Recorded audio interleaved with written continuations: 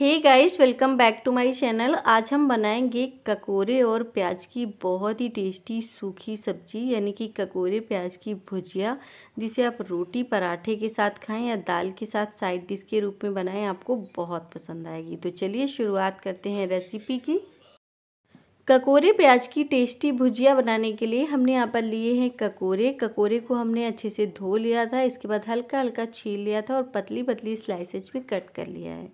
दो बड़े साइज़ की प्याज ली थी, जिसे छील करके ऐसे स्लाइस में कट किया है। अब एक पैन में हम लगभग तीन चार चम्मच के जितना तेल डालेंगे। भुजिया बना रहे हैं तो तेल थोड़ा सा ज़्यादा डालिएगा।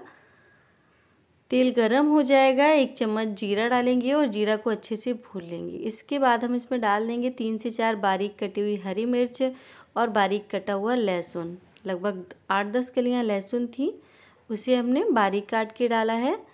हल्का सा भूनेंगे, इसके बाद हम इसमें ऐड कर देंगे प्याज और चुटकी भर मैंने इसमें हींग भी डाली है, ये डाइजेशन के लिए बहुत अच्छी होती है।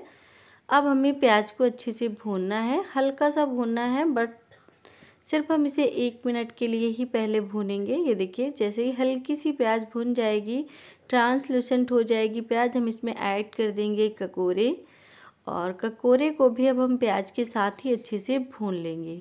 तो देखिए, इस तरह से अच्छे से मिक्स करते हुए पहले से खुले में दो से तीन मिनट तक भून लीजिए। इसके बाद हम इसमें आधा छोटी चम्मच हल्दी पाउडर, एक चम्मच धनिया पाउडर, एक चम्मच काश्मीरी लाल मिर्ची पाउडर है।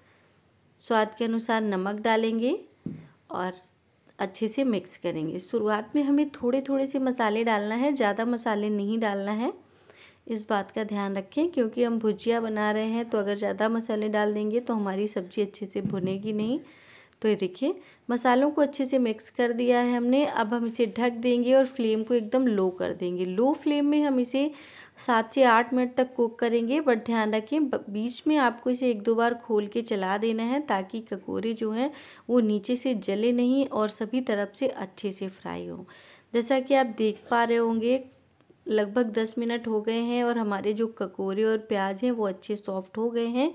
अब हम इसमें एक छोटा चम्मच आमचूर का पाउडर डालेंगे जो कि हमारी सब्ज़ी को अच्छी सी खटास देगा। आप चाहें तो इसमें टमाटर भी काट के डाल सकते हैं, बट अगर इस तरीके से भुजिया बना रहे हैं तो आप आमचूर का पाउडर ही डालिएगा, वो ज़्यादा टेस्टी लगता है। अब हम इसमें आधा छोटी चम्मच हल्दी पाउडर, आधा चम्मच कुटी हुई लाल मिर्च और डाल देंगे।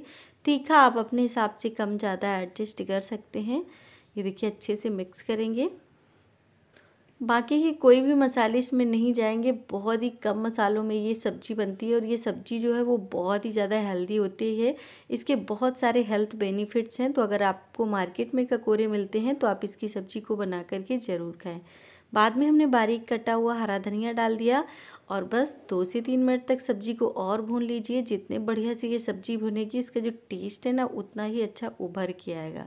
ये लीजिए फ्रेंड्स, हमारी बहुत ही टेस्टी ककोरे प्याज की टेस्टी भुजिया बनके तैयार है।